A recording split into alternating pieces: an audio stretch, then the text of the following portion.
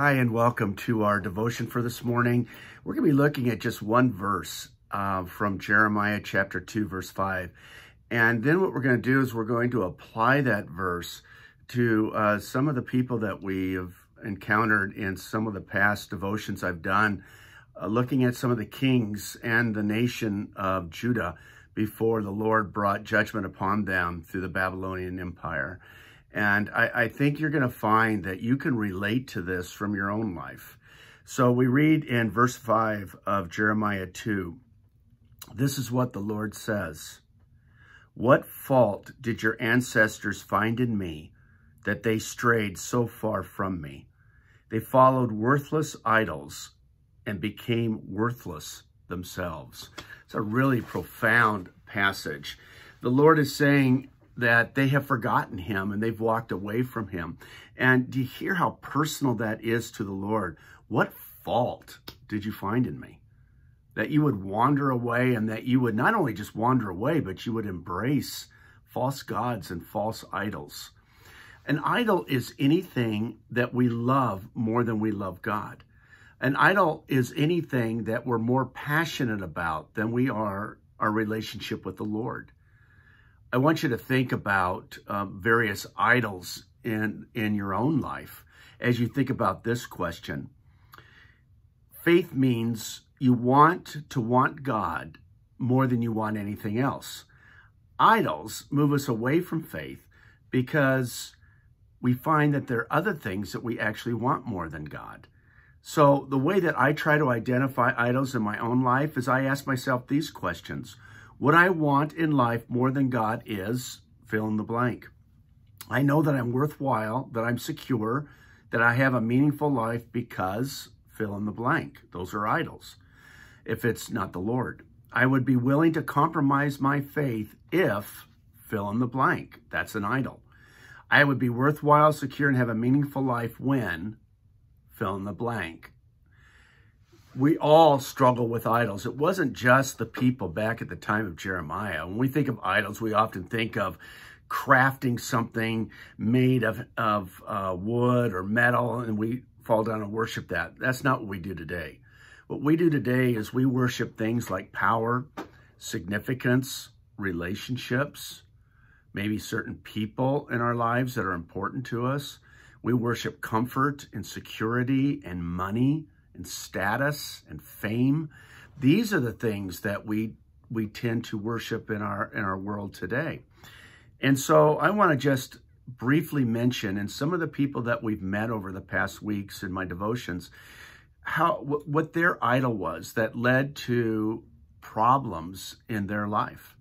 First was King Hezekiah. Hezekiah began with a wonderful reign and uh, did a lot of courageous things. But his idol was personal peace and security. He was willing to compromise God's commands and God's best in order to obtain more security and more comfort in this world. A uh, second one was Manasseh. He had no interest in following God. He wanted to follow any philosophy that he believed would get him ahead in this world. That was his idol. Josiah. Josiah wanted to love God, wanted to follow the Lord, and he sacrificed everything to live out that definition of faith that he loved God and was more committed to God than to anything else. The crowds, the crowds went through the motions of faith, but their hearts were far from God. And sometimes we, we're more concerned about what other people think about us, how other people perceive us, than we are about our, the integrity of our walk with God, about what's really true about us. And then finally, Zedekiah. He was only willing to listen to teaching that made him comfortable. If there was teaching that was challenging to him, he didn't like it. His God was to be comfortable and to feel good about himself. And so when God brought the word of the Lord uh, through the prophets to Zedekiah, he rejected it because if it wasn't consistent with what he wanted to hear for himself. If it if it caused him to have to look at his life and change, then he wasn't interested in listening to that. Friends, here's the challenge for today. What might God say to you today about the idols in your life? What might God say to you today about things that you are loving more than you love Him or things that you are pursuing with more passion than you're pursuing Him? Let me, let me close with this passage again before I pray. This is what the Lord says. What fault did your ancestors find in me that they strayed so far from me? They followed worthless idols and became worthless themselves. Friends, our identity can only be rooted in the Lord. When our identity is rooted in anything else, anything else, then what happens is we become worthless. The very thing we don't want, we become.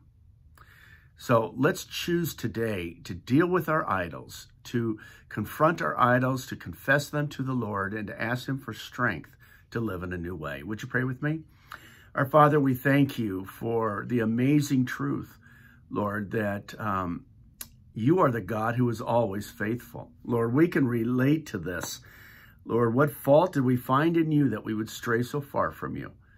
Lord, we confess that we often look to the things of our world, to money, to possessions, to power, to authority, to significance in our world, to relationships, to comfort, to security.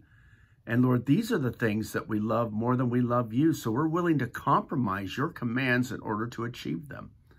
Father, forgive us for that and help us to live in a new way that honors you. Strengthen us, Lord. Give us courage to face what is true about ourselves. And Lord, give us the power to become something new for the sake of your glory. Amen. God bless you and have a great day.